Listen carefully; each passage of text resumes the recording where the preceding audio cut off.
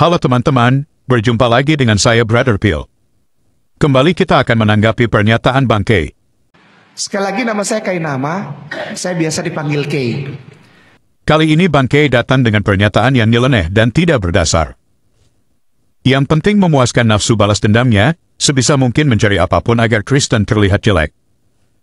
Menariknya, dia sering katakan bahwa Isa sama dengan Yesus. Tapi, ironisnya dia bahkan tidak memberi hormat sedikit pun kepada Yesus, seperti pada video sebelumnya. Dia katakan Yesus mati diracun, bukan hanya itu, dia juga katakan Yesus kafir. Dan itu semua dia katakan berdasarkan ilmu cocokmologi. Kali ini dia datang dengan statement yang tidak kalah kocaknya. Sebelum kita tanggapi, kita saksikan video berikut.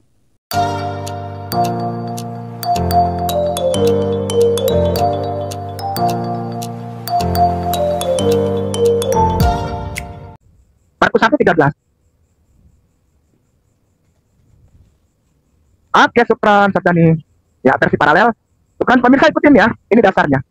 Di padang gurun itu ia tinggal. Kenapa kayak nama tidak mempersilahkan Ustaz Niru untuk baca? Karena ini dasarnya dulu. Nanti Ustaz Niru baca di uh, setelah dasar. Pemirsa Ustaz Dani tolong minta tolong jangan marah. Di blog di padang gurun itu ia tinggal.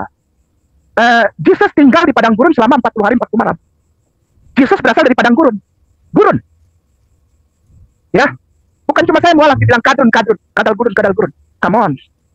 Ya, Jesus itu asalnya pernah tinggal di padang gurun selama 40 hari 40 malam untuk dicobai oleh iblis.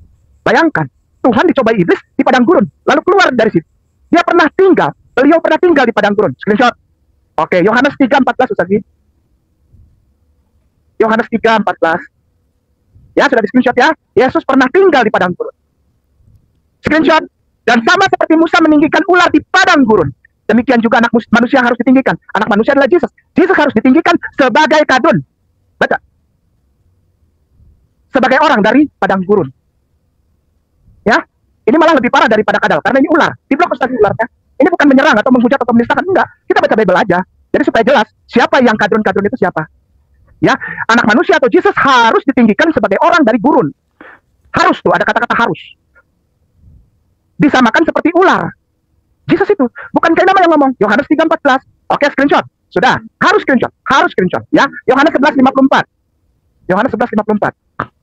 Yohanes 11:54. Jadi ada mata rantai ya dengan tema. Ini bukan berarti Ustadz Kay itu ngalor ngidul ke mana-mana enggak. Karena orang Arab itu sekali lagi orang Arab di mata orang-orang non Muslim di Indonesia dan ada beberapa Muslim juga yang bilang kadrun. Orang Arab itu kadrun, kadrun. Maka itu startnya dari sini. Ketika kita bahas tema Yesus orang Arab, kita mulainya dari sini kadrun. Baik ya, ini kadrun yang ngomong, ini kadrun yang dibilang kadrun, ya oleh orang-orang Kristen, apalagi itu berkristen, bilang bangkai-bangkai kadrun. Nah sekarang kadrun ini lagi ngomong bahwa Yesusmu juga, kenapa tidak dibilang kadrun? Karena itu Yesus tidak tampil lagi di muka umum di antara orang-orang Yahudi. Ia berangkat dari situ ke daerah dekat padang gurun. Baca, baca. Ke sebuah kota yang bernama Efraim. Dan di situ ia tinggal. Yesus tinggal di padang gurun, come. Ayolah, baru kita bahas nanti. Apakah dia Arab? Karena orang-orang memaki orang Muslim di Indonesia, Muslimin wal Muslimah dimaki oleh orang non Muslim apalagi Kristen, ya dengan bahasa kadrun. Come on, lihat. Sudah tiga ayat. Markus 1.13, Yohanes 3.14, dan yang terakhir ini, Yohanes 11.54. Your Jesus also came from gurun, a desert. Kalau kami disebut kadal gurun, bagaimana dengan Yesusmu? Yang tinggal di padang gurun. Oke. Okay. Kita sudah saksikan bersama, bagaimana Bang Kay mengatakan bahwa Yesus itu kadrun, dengan mengutip beberapa ayat dalam Injil yang ada kata padang gurun. Berdasarkan ayat-ayat itu, dia mengatakan bahwa Yesus adalah kadrun atau kadal gurun. Teman-teman lihat, betapa putus asanya bangkai dalam mencari cara menjelekkan kekristenan. Dia tidak tahu, awal kata kadrun itu muncul pada saat tahun politik 2019. Di mana orang yang memilih Prabowo dipanggil kadrun atau kampret dan pendukung Jokowi dipanggil cebong. Dan panggilan kadrun tidak ada hubungan sama sekali dengan padang gurun. Jadi hal ini pun tidak ada hubungannya dengan agama sama sekali.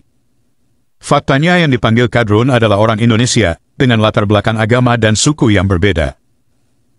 Yang membuat mereka dipanggil kadrun atau kampret dan cebong, hanya karena perbedaan pilihan politik, bukan karena latar belakang ras.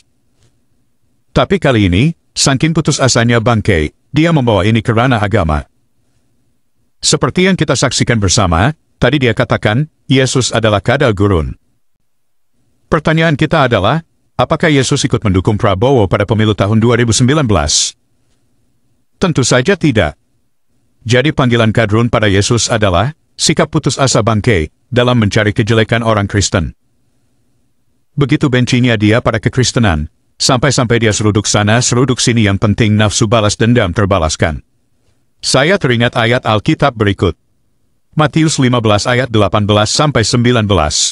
Tetapi apa yang keluar dari mulut berasal dari hati dan itulah yang menajiskan orang.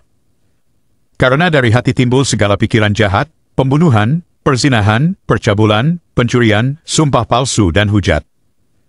Jadi, apa yang ada di dalam hati bangkailah, yang keluar melalui kata-kata dusta dan hujat. Nasihat firman Tuhan untuk bangkai dan kita semua. Amsal 4 ayat 23-24 Jagalah hatimu dengan segala kewaspadaan, karena dari situlah terpancar kehidupan.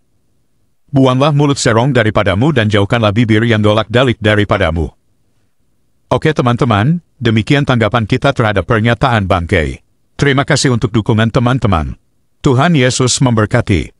Jadi Ikhwan Ahwat, Ya. eh, bagi Anda yang nanti juga bisa googling gitu ya sosok eh, Ahmad Kainama, bahkan nanti nama waktu eh, Nasraninya juga keluar gitu ya. Agustinus Christopher Agustinus. Kainama. Christopher Kainama. Agustinus Bapak Gereja itu namanya. Dipakaikan pada saya karena papi saya uh, pas baptis harus ada nama baptis.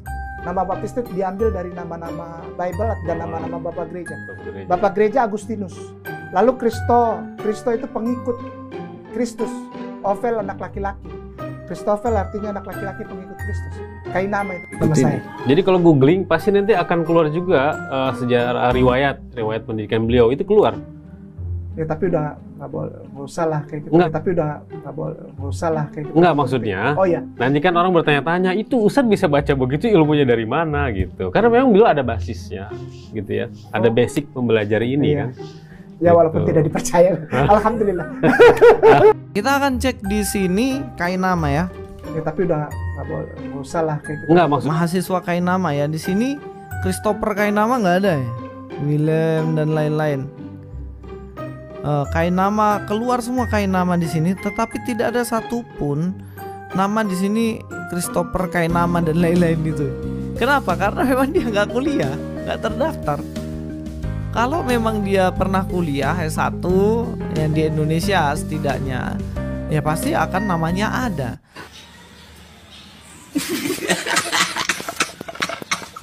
Halo teman-teman, ini ada fitur baru dari YouTube, di mana teman-teman bisa mensupport channel Pil Pahit dengan cara mengklik thanks seperti ini, lalu akan muncul pilihan jumlah nominal yang teman-teman bisa support. Setelah itu kirim, teman-teman bisa mengirim dengan berbagai aplikasi seperti yang ada di layar. Terima kasih untuk dukungan teman-teman.